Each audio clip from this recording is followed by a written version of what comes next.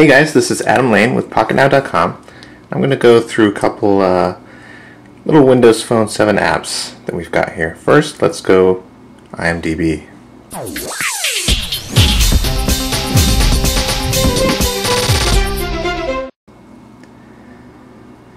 So here we go, starting up with the splash screen. Now it's loading, and there we are. And look at these graphics there. This is really beautiful. Look at how that moves. So, first page we got some uh, movie meter, star meter. So you can tap on the star.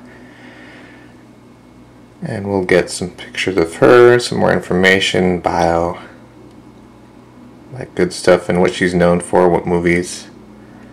Trivia quotes. Got a nice picture in the background there. There's her bio. So let's go back one more. There's some more pictures. Let's try some of those. And here we have some pictures of her at different events. Can't zoom.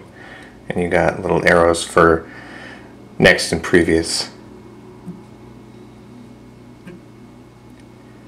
So that's really cool. Let's go back to the home. You got top news over here. You can click on any of these things. And over here we got movies. And we can do show times.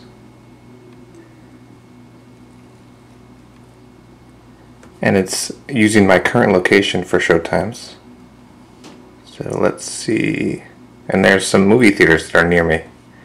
So we can see the show times for that and it just automatically knows where I am.